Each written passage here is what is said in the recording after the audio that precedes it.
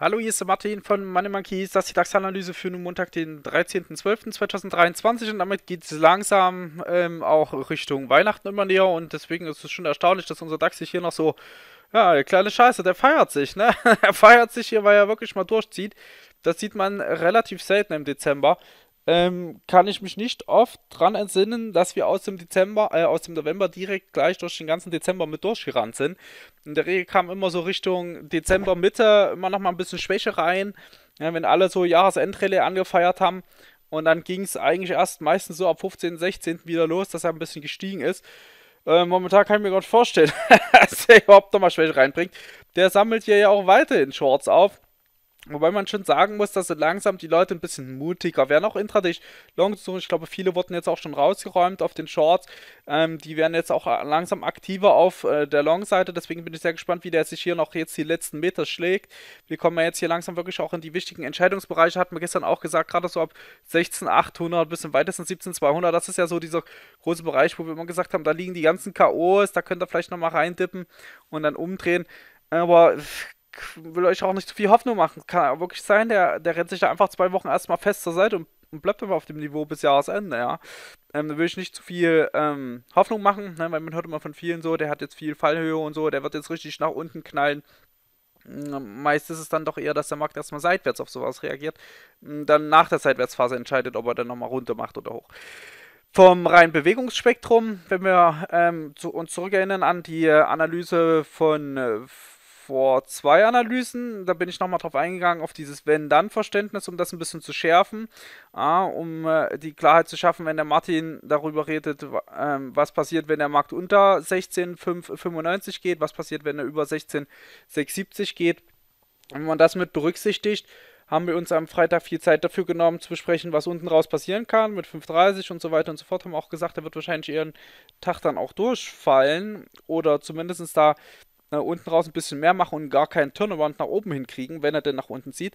Aber das hat er gar nicht getan. Er ist einfach nur über die 670 geschoben und im Falle eines Überschreitens von 670 haben wir gesagt, hat er Platz bis in den 800er Bereich und den hat er erreicht. Wir sind jetzt an der 800. Ja, und ähm, ich habe euch hier mal versucht, im 2-Stunden-Chart noch ein paar Marken mit reinzusetzen, ja, die jetzt hier als nächstes dann dran sind.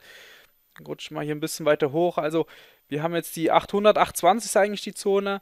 820 ähm, für den Montag jetzt hier direkt vor der Brust und dann ähm, kommt natürlich schon ein größeres, größeres Loch bis hin zur, zur 69, 17.000. Also ähm, das könnte unser DAX theoretisch am Montag angehen, wenn er sich oberhalb von 820 etabliert bekommt.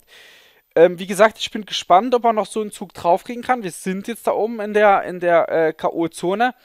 Und ich weiß nicht, ob die Leute, die jetzt Short rausgehauen werden, ob die direkt wieder neu Short kaufen, weil das ist immer so diese Knackpunktfrage, die den Markt ja weitertreibt. Ne? Wenn die Leute, die jetzt alle hier Short rausfliegen, ähm, einen neuen Short kaufen, dann kann er weiter steigen.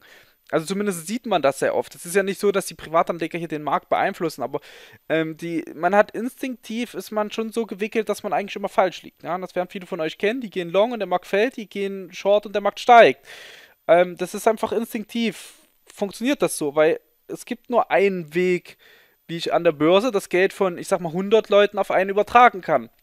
Ich muss den Markt so bewegen lassen, sich bewegen lassen, dass die 100 Leute eigentlich genau das gleiche denken oder nahezu alle fast das gleiche denken, außer der eine, der halt entgegengesetzt handelt. Und dann wird das Geld von den vielen rüber transferiert. Und deswegen ist das sehr häufig zu sehen, ich sage dazu immer instinktiver Handel, ja, dass die, der Markt eigentlich das Gegenteil von den Leuten macht halt, ne? zumindest von der Menge. Und deswegen gucke ich mir die immer sehr gerne an, betrachte die mit.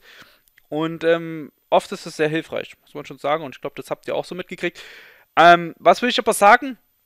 Wenn die natürlich jetzt hier alle äh, von Short of Long wechseln, wo ich zum momentan ehrlich gesagt eher das Gefühl habe, dass viele, ähm, die sich jetzt auch aus dem Short-Lager verabschieden, dann eher optimistisch auf der Long-Seite wären, dass sie noch ein paar Punkte mit rausgerissen kriegen, umso eher wird es sich jetzt hier oben irgendwo verbarrikadieren und, und zum Bremsen kommen.